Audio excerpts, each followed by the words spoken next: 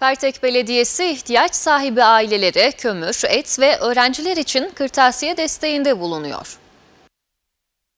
Pertek Belediyesi ilçe merkezinde bulunan 5 mahallede vatandaşların yaşamlarını kolaylaştırmak ve ihtiyaç sahiplerine destek olabilmek amacıyla çalışmalarını sürdürüyor. Pertek Belediye Başkanı Ruhan Alan, ihtiyaç sahibi vatandaşlara soğuk kış günlerinde destek olmak amacıyla kömür yardımında bulunduklarını söyledi. İlçemizde ihtiyaç sahibi birçok vatandaşımız bulunmakta.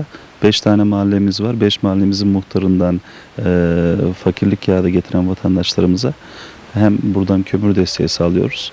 E, ayrıca üniversitedeki öğrenci arkadaşları da gelen öğrenci arkadaşları da evde kalan arkadaşlarımıza e, onlara da kömür desteğini sağlıyoruz. Yani e, bize bunun yükü tabii ki de çok fazla. Kömürün tonu şu an Türkiye'de belli fiyat olarak. Fakat belediyenin işlevleri tabii ki de hani sosyal fayda sağlamak olduğu için amacımız buradaki her insana, her vatandaşa dokunmak. Düzenli olarak kömür desteğini sağlıyoruz 3,5 yıldır. Kömürler 10 ila 30 torba arasında dağıtılıyor. Kömür yardımını e, mümkün mertebe belli bir kota şeklinde veriyoruz. İşte kimi ailelere 10 torba, kimi ailelere yani aile veya işte öğrenci arkadaşlara durumlarına göre hani ekonomik durumlarına göre 10 torba, 20 torba veya 30 torba şeklinde o destekleri sağlıyoruz.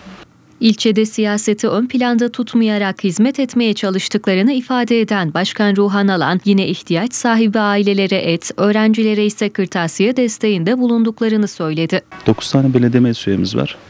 Parti farkı, farkı gözetmeksizin her belediye meclis üyemizden eşit sayıda belli bir miktarda aileyi tespit etmelerini istedik.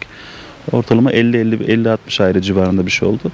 Yani e, her belediye meclisimiz bizlere 50-60 arasındaki ailemizin listelerini getirirler. Biz de o ailelerimizi hem kırtasiye desteği sağladık hem e, et desteği sağladık.